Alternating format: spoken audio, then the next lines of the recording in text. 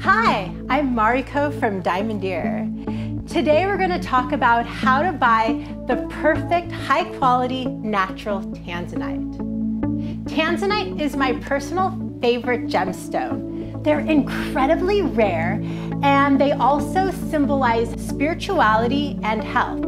It's also my birthstone for December.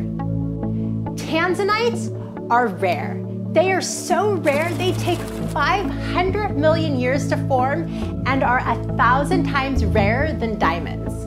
The only place that you can find them is a five mile square radius at the foothills of the majestic Mount Kilimanjaro in Tanzania, Africa.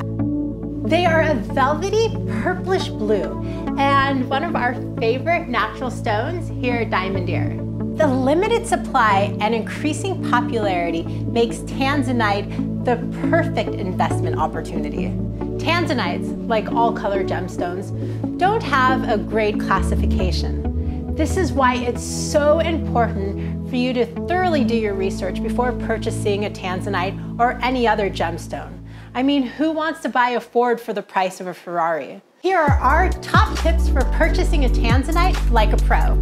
First, if you see any visible cracks in the tanzanite, do not buy. No visible imperfections means the stone is eye clean. Second, examine the color intensity and shade. This is how we're able to distinguish the difference between double A quality, triple A quality, and quadruple A quality.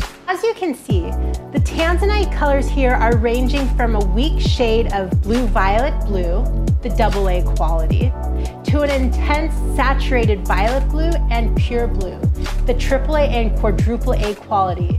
The blue tanzanite and the purple tanzanite are both very valuable depending on the depth and intensity of the color. That being said, the bluer the tanzanite, the more sought after it is. The finest tanzanites, which have the strongest and most intense color, come from stones larger than three carats. Third, find tanzanites over one carat. Anything smaller is going to lose that color and intensity that makes a tanzanite a tanzanite. And fourth, purchase heat-treated tanzanites from a respected source.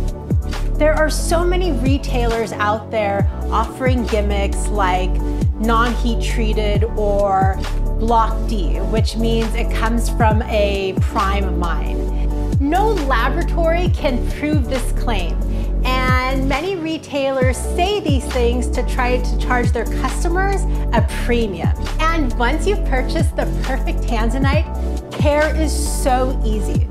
All you have to do is rinse it with some warm water, some mild soap once a quarter, and the brilliance will last a lifetime. You wanna see all the beautiful pieces we've created from Tanzanite? Check out our website, diamondere.com. You can ask me or any of our jewelry experts about Tanzanite or how you can create your own unique pieces. This is Mariko from Diamondère. It was so much fun. I'll see you next time. Bye-bye.